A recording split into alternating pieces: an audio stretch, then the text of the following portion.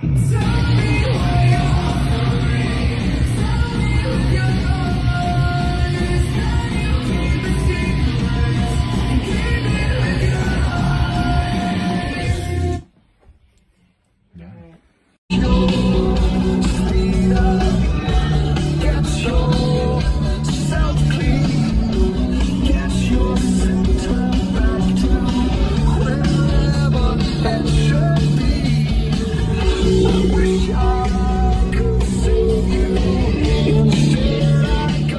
This is an official message to anybody that cares about me whatsoever.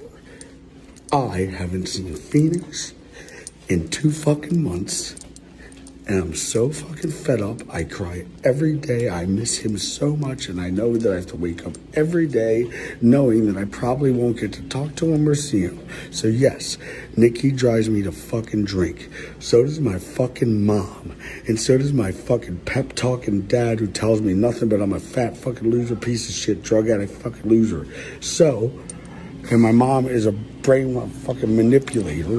And my brother stole Castle Bam, and he thinks it's called Castle Jess. And then I have to listen to my mom say, Bam, you do have a house. Really, Abe? Where? Well, it's Castle Bam. Well, if I go there, then the police will come. And Naveed the shaman, my best friend, came in from fucking Persia, and I can't even go show him my own property.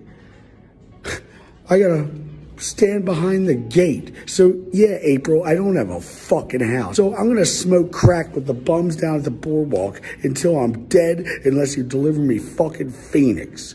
Get to work, Nikki, or anybody that wants to help. I want Phoenix.